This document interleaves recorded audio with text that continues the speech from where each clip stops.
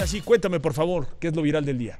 Gracias Javier, muy buenos días. Y bueno, para empezar, este video en la verdad a todos nos ha causado muchas emociones porque vemos a dos pequeños, Javier, dos amigos que están jugando de la manera más sencilla pero más divertida que pueda haber en el mundo, tienen un bote de basura, Javier, que se alza eh, con el pie, un bote de basura que se abre la tapa y bueno, es lámina. Entonces lo que hacen, uno es mover el bote de basura y el otro se pone atrás de la tapa para, eh, para que le golpee en la cara, ¿no? Pero la reacción y los sonidos es muy divertido. no, no, no, no, lo estamos viendo y ahorita mientras lo narras es una joya. A ver. te va, te va, te va. Dan, ¿eh? O sea, de suena, suena, Javier. Está maravilloso.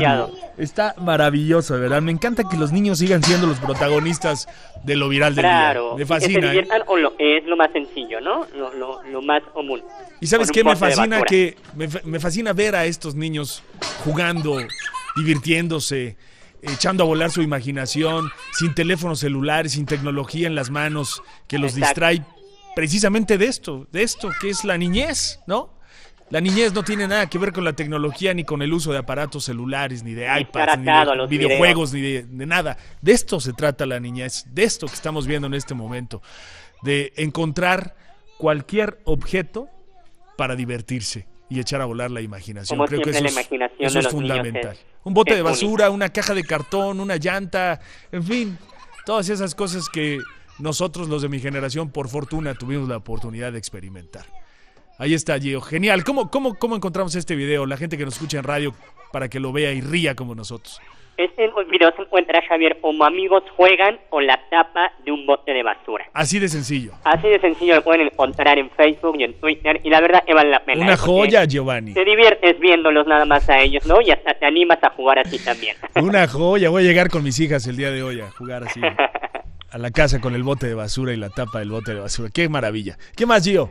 Oye, Javier, y en contraste, como siempre, los niños nos ponen el ejemplo, ¿no? Pero ya cuando uno es adulto y te vas de fiesta, Javier, pues a lo mejor a veces se te pasan pues, los alcoholes, como fue esta chica, que no, ¿eh? No tiene otra cosa más, está borracha, y bueno, no podía ni sostener su cuerpo, le ganó la inercia hacia atrás, empezó a caminar atrás, atrás, atrás, hasta que se cayó en el suelo. Haciendo prácticamente el arco, ¿eh?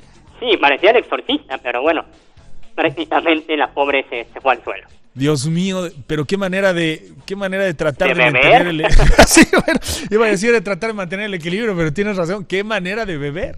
Sí, impresionante, Gio. Impresionante cómo pierde el equilibrio por completo. Ella juraba que iba para adelante cuando en realidad iba para atrás, ¿no? Sí, no sabía ya ni en qué mundo vivía. No, parece, parece que iba jalando algo primero, ¿no? algo muy pesado.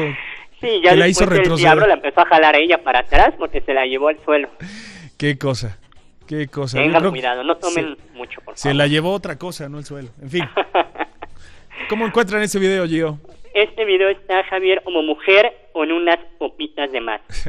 o, algunas, copitas. O algunas, algunas de más. ¿Qué más, Gio? Oye, y por otro lado, Javier, pues digamos, en la manera natural o común o tradicional de dar a conocer hoy en día eh, el sexo de un bebé cuando una pareja está esperando a su primer hijo, bueno, pues lo hacen en una reunión donde a lo mejor a través de, un globo pues dan a conocer cuál es el sexo de bebé, del bebé.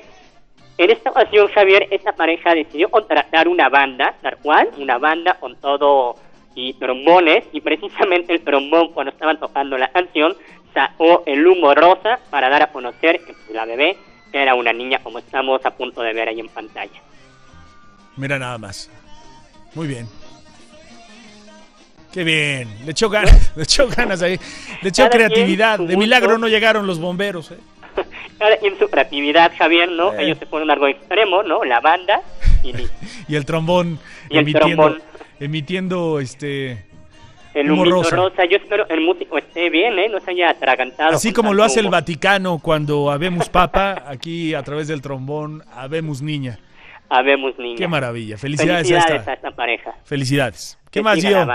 Oye, y finalmente, Javier, esto sí solamente pasa en México y por eso nos divertimos tanto, porque el domingo pasado que fue el grito de independencia y en el Zócalo, bueno, al término de esto, Javier, toda la, toda la gente se se fue al metro y una de las estaciones fue el metro Garibaldi, donde mientras esperaban a que pasara eh, eh, los vagones, ahí en los andenes, Javier, se organizaron, porque había muchísima gente, y se organizaron para hacer la tradicional ola como lo estamos viendo. Vámonos. Bueno, pues aprovechando, ¿no? Sí, ya era como la una de la mañana, pero ellos felices ahí. se armó la ola. Y para eso sí se coordinaron muy bien, ¿eh? Sí, sí, ya, ya para entrar y para viajar al metro, eso ya es otra cosa, ahí Se olvida, ahí, se olvida, absolutamente toda la solidaridad, la ola, la, todo, el, todo el tema. Y sí, lo mexicano ahí se olvida, pero mientras llegaban los vagones, Javier, ahí en el andén. Pues Abriendo la, puerta, sí es sálvese quien pueda, ¿verdad? Ajá, no importa. Sí, y más que ola ya parece tsunami cuando se abre la puerta, ¿no? ¿Qué más, yo? Pues con terminamos, Javier. Muchas gracias. Gracias. Buen día. Igualmente para